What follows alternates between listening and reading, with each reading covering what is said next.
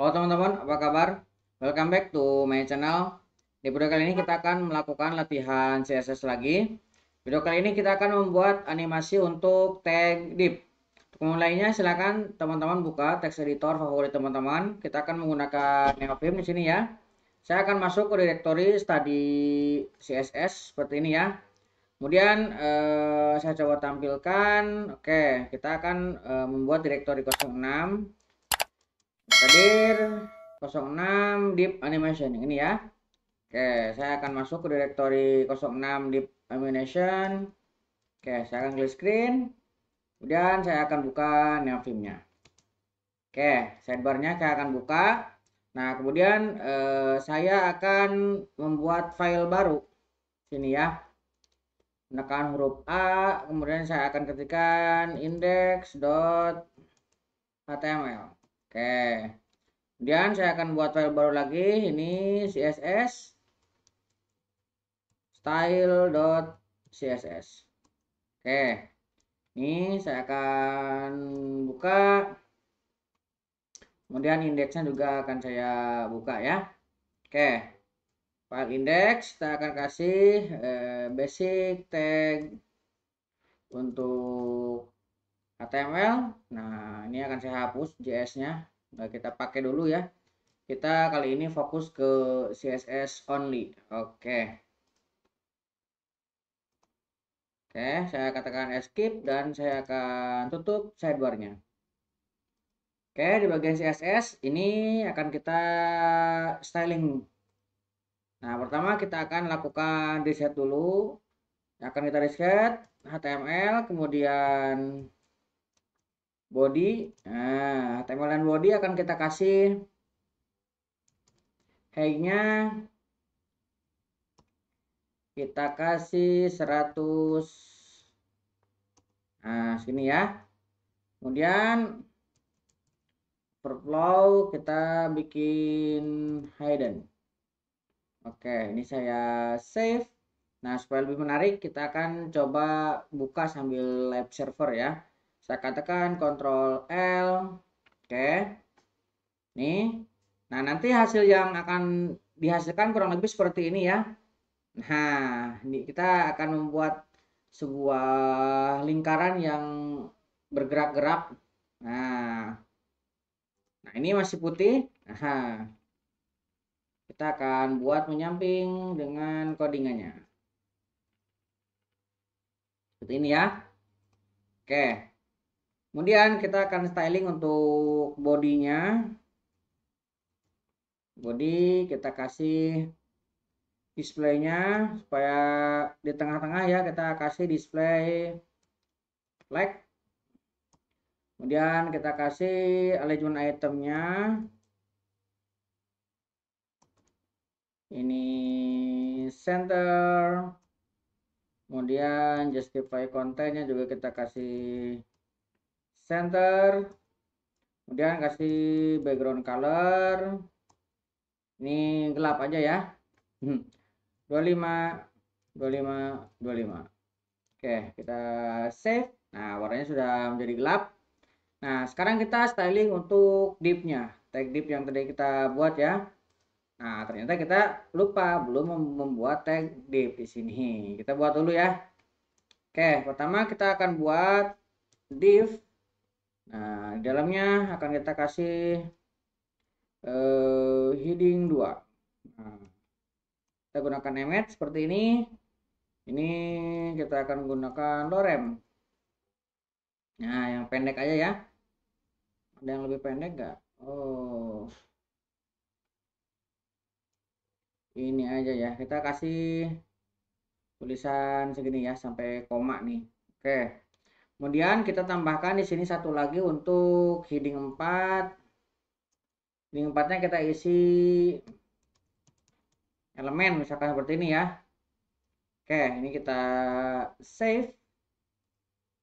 Nah, di sini udah muncul di tengah-tengah tapi warnanya hitam. Nah, sekarang kita tinggal styling untuk uh, div-nya supaya tidak hitam ya. Div Nah, div-nya akan kita kasih background color-nya putih ya. Background color kita kasih warna putih. Nah supaya kelihatan ini kita save dulu. Nah udah mulai kelihatan ya. Nah kemudian untuk tulisannya ini jangan hitam. Tulisannya kita kasih agak hitam.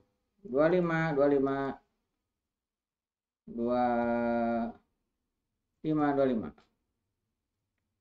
oke agak gelap tapi bukan warna hitam oke kita kasih pojokannya border radius supaya round corner ya. Kasih 16 pixel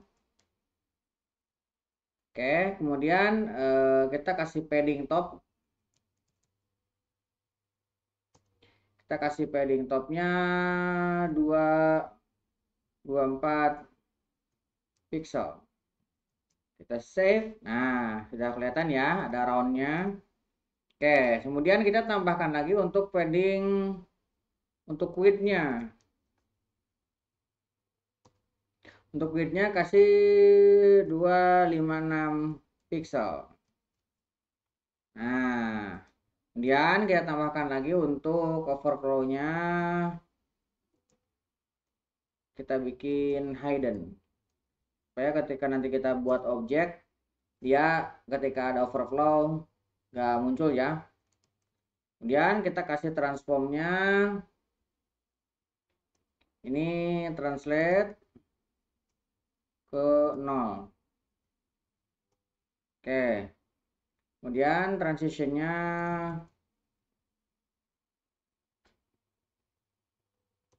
Kita kasih 0,6 second kita save. Nah ketika ini gerak ya seperti itu. Oke padding uh, width border radius sudah. Sekarang kita tambahkan untuk div heading. Nah div kemudian kita kasih heading 2 nah di heading 2 nya kasih track transform.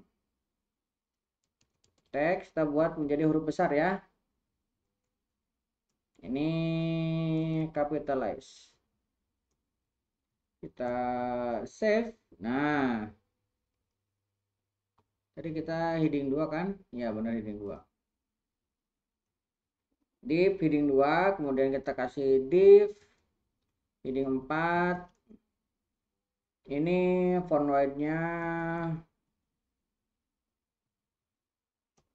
kita kasih bold kemudian text transformnya uppercase. Uppercase. Kemudian letter spacingnya. Kita kasih 4 pixel ya. 4 pixel kemudian margin topnya. Margin topnya kita kasih 48 pixel kita save. Nah sudah mulai agak kelihatan ya oke. Nah sekarang kita akan styling untuk before nya oke.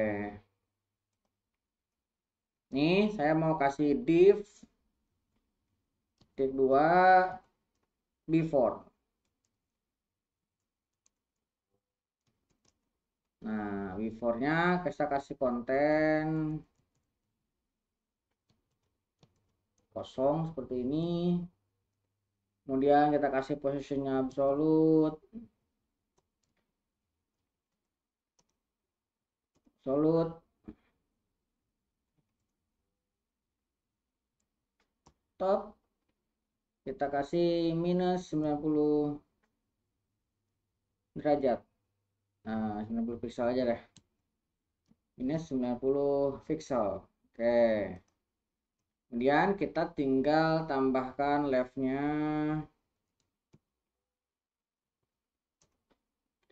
Tambahkan leftnya minus 120 pixel nah. Kemudian kita kasih Z index minus 1 oke nah oke sih kita kasih background color. Kita kasih linear gradient. Kalau nggak background aja ya background. Supaya bisa kita kasih linear gradient ya. Linear gradient to right. Kita kasih warna kosong df 6f oke kemudian kita kasih warna satunya agak mirip 00 ff 7f nah, ini agak mirip ya. Oke. Linear gradient. Nah sekarang kita kasih dia border radius. Nah kita kasih border radius supaya ini bulat ya sekarang belum kelihatan karena belum kita tambahkan animasi ya. Border radiusnya kita kasih 50% supaya bulat. Nah kemudian kita kasih widthnya. Kita kasih width 300 pixel. Oke, kemudian kita kasih height-nya juga 300 pixel supaya bulat. 300 pixel. Nah, kita bikin di sini animasi. Animation. Nah, 4 second. Kemudian animate div before namanya ini ya animation ya nggak usah animate animation deep before nah kemudian kita akan tambahkan di sini infinite ya. Supaya uh, jalan terus. Hmm. kita kasih in out supaya dia uh, gerak terus ya. Oke nah ini belum kita tambahkan animasinya tapi sudah kelihatan ya. Nah, nanti kita akan tambahkan animasinya. Oke, sekarang kita coba untuk afternya. Kita tambahkan div titik dua after. Nah, sama. Kontennya kita kasih kosong. Kemudian posisinya juga absolut. Oke, kemudian kita kasih topnya. Kita kasih dari top minus 110 supaya agak keluar ya pixel. 110 pixel, kemudian right-nya kita kasih minus 100 supaya dia berada di sebelah kanan. PX. Oke. Nah, kemudian Z indeksnya kita samakan kasih minus 1. Indeksnya ini saya kasih minus 1. Nah, belum kelihatan karena belum kita kasih warna. Oke, kita sekarang kasih background dan kasih linear gradient. Nah, kita kasih to to right kemudian kita kasih warna yang agak beda. 6A eh, misalkan 00 FF nah kayak warna lebih ke ungu ya. Kemudian untuk warna satunya kita kasih 00 FF 7F nah ini mirip dengan sebelumnya. Oke. Nah ini belum kelihatan karena belum kita kasih ukuran. Nah sekarang kita kasih bulat border radius kita kasih juga ini 50% biar bulat. Kemudian kasih widthnya uh, 280 pixel biar agak kecilan. Oke okay. kemudian kita kasih height-nya.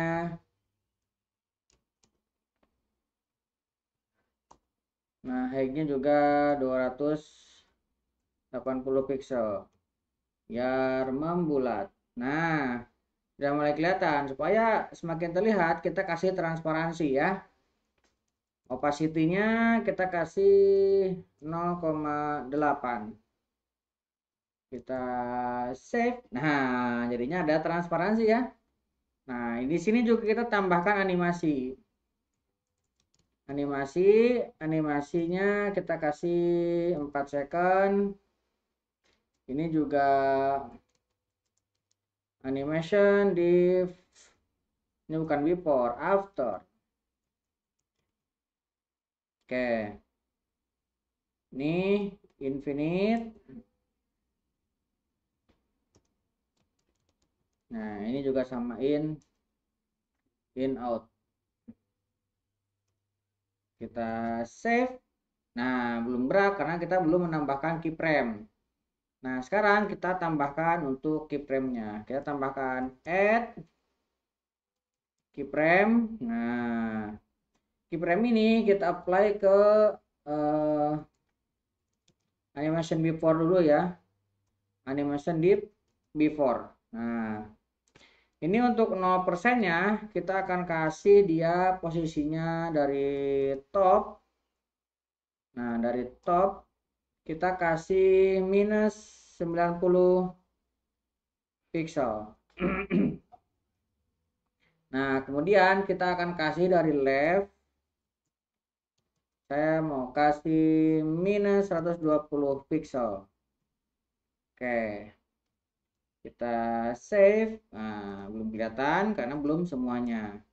Oke sekarang 50% nya 50% nah kita akan kasih dari topnya eh, minus 65 65 pixel kemudian untuk leftnya kita kasih minus 130 pixel Oke, kita save. Nah, sudah ada terlihat, ada sedikit gerakan ya. Nah, sekarang kita tinggal tambahkan untuk yang 100%-nya. 100% kita kasih dari top, nah, kita kasih minus 90 pixel. Nah, kemudian dari left-nya kita kasih minus uh, minus 120 pixel. kita save nah ada efek gerakan ya itu untuk keyframe before nah sekarang kita bikin keyframe untuk after. Add keyframe. Nah kita kasih animasi untuk animation after. Tadi kita before sekarang kita untuk after. Oke kita kasih 0% ini dari top kita kasih minus 110 pixel kemudian ini dari right-nya. Dari right-nya kita kasih minus 100 pixel supaya dia berada di sebelah kanan. Nah Kemudian kita akan tambahkan lagi untuk yang 50%. Nah, 50% kita kasih topnya itu minus 120 pixel. Nah, kemudian kita tambahkan right-nya